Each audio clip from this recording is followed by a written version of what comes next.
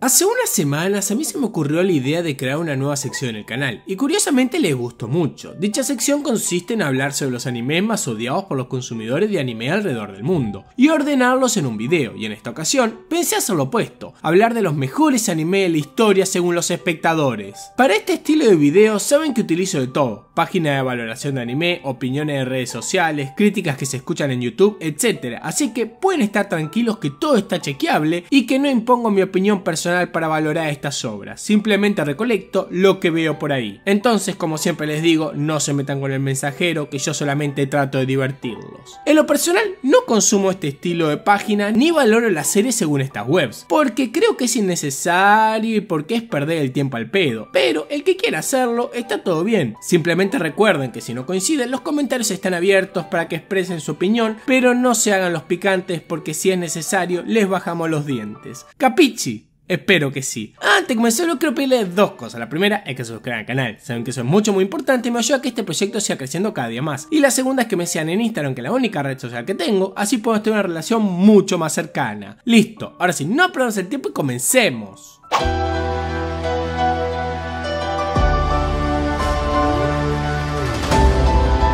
Sí, lo sé, tengo que terminarme Gintama, pero hoy no vinimos a hablar de cuándo termino Gintama, sino venimos a remarcar lo bien valorada que está la obra protagonizada por Sakata Gintoki en la comunidad, y si les soy sincero, está perfecto. Gintama es una de las obras más divertidas de la historia, y junta eso con ser un shonen súper atrapante con demasiados momentos épicos y con un elenco de personajes que juegan todos para ver cuál está mejor construido. Gintoki como protagonista es buenísimo, porque sabe mezclar la comedia hilarante de un tipo al que parece que le chupa todo un huevo con la figura de un ser súper desarrollada, con un pasado trágico y con unas relaciones interpersonales con sus colegas que es maravilloso. Pero cuidado, porque Gintama, como buen shonen que se respeta, tiene unas peleas que son buenísimas, con varias escenas míticas y con unos intercambios de espadazos que dejan hasta el más escéptico sumamente prendido a la pantalla. El mayor inconveniente que tiene Gintama es que es una serie que puede ser bastante lenta para los consumidores, porque los primeros 40 capítulos son un poco densos y abusan de la comedia hilarante que caracteriza la serie. Pero si pasas esa barrera inicial, nunca más vas a querer estar lejos de esta obra de arte. O sea, ¿ustedes se dan cuenta de que Intama tiene hasta buenos opening y ending? Es increíble, te hypea desde el inicio y el opening 13 es de las mejores cosas que ha hecho el hombre en su historia. Las reseñas en las páginas de internet suelen coincidir conmigo en que es una serie muy completa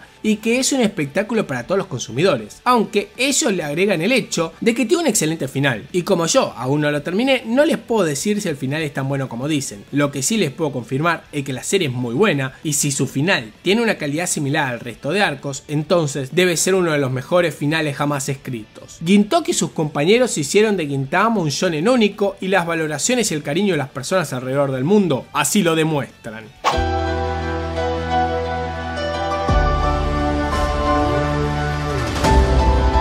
Banco mucho, pero mucho que la gente le dé reconocimiento a Steins Gate. Ustedes saben que yo soy lo menos pretencioso del mundo y en varios momentos disfruto más una serie simple que una bastante compleja.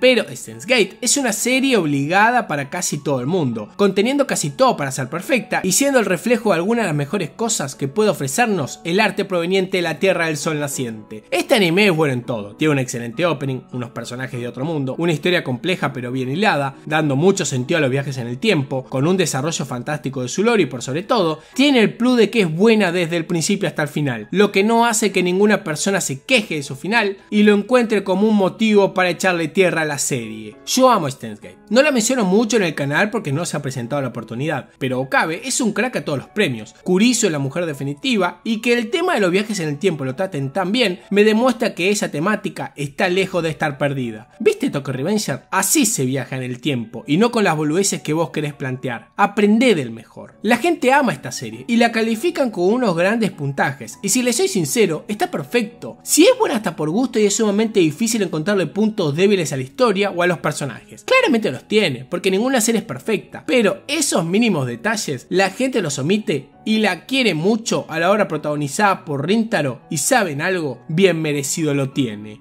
Como les digo, hasta su opening es bueno. Es increíble, porque vos esperás que una serie así de buena tenga un mal opening o algo malo que salta a la vista, pero no, al contrario, cada día se pone todo mejor y mejor, y yo como un consumidor activo de la serie, solo puedo darle gracias a los creadores que le dieron origen a esta maravilla. Steins Gate es una de las series de culto más reconocidas del medio, y mejor valoradas por los fanáticos, y la verdad, está bien merecido todo.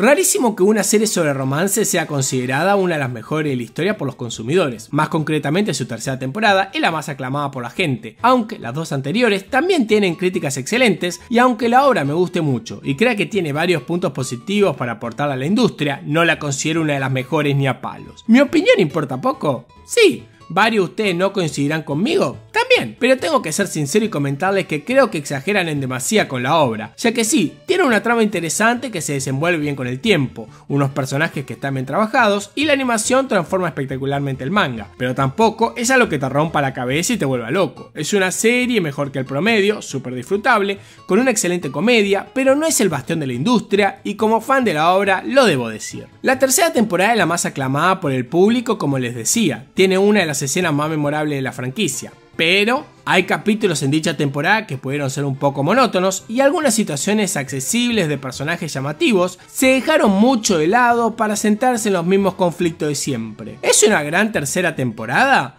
Sí, es más, yo tengo un video en el canal hablando sobre lo excelente que fue el final de la misma. Pero pará, papá, ponerla como el tercer mejor anime de la historia es una fumada tremenda. Yo amo Kaguya-sama Love War en todas sus temporadas. Amo su humor, amo los personajes, aunque el mejor sea God, amo los conflictos que se presentan, amo las tonterías de chica y por sobre todo, amo la premisa de confesar los sentimientos mediante una guerra silenciosa. Pero no por eso voy a decir que esta es la tercera mejor serie de la historia, porque claramente no lo es nunca lo será. ¿Kaguya-sama quedará para la posteridad? Puede ser, tiene muchos boletos para hacerlo, ya que es demasiado llamativa y atractiva para los consumidores, pero aún así, tratarla de esa manera tan beneficiosa y partidaria es exagerar mucho. Gran serie, super sí. Top 3 histórico, ni a palo.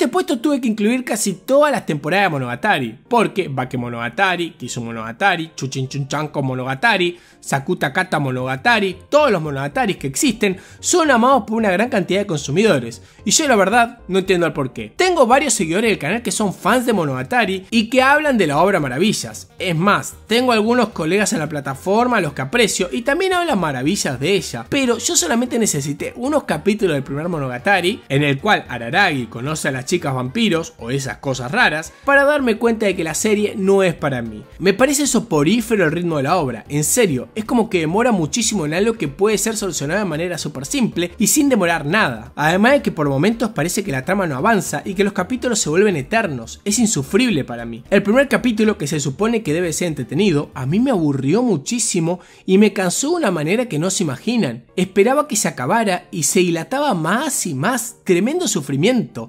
Y el resto de capítulos son iguales de los que vi, con situaciones que no me gustan, con personajes con los que no podía empatizar y con una ambientación que se sentía demasiado lúgubre para mi gusto. Claramente la obra debe tener algo. No puede ser que todos destaquen cosas sobre ella a diario y que se vuelvan locos por consumirla. Y aunque es cierto que la popularidad no es sinónimo de calidad, Monogatari en su interior tiene algo que le permite que tantas personas puedan sacar tesis extensas sobre la misma. Pero yo no hago feeling con la serie y no hay con qué darle. Ararai como protagonista todo lo pintan como uno de los mejores, pero para mí es un pibe demasiado carente de acciones propias y que parecía el típico niño edgy que no le daba nada de provecho a las personas. Acá el equivocado soy yo, claramente. Además, no me terminé sus 590 temporadas, así que no estoy con todo el lore. Pero de lo que vi, puedo decirles que no comparto para nada el amor de la gente por la serie.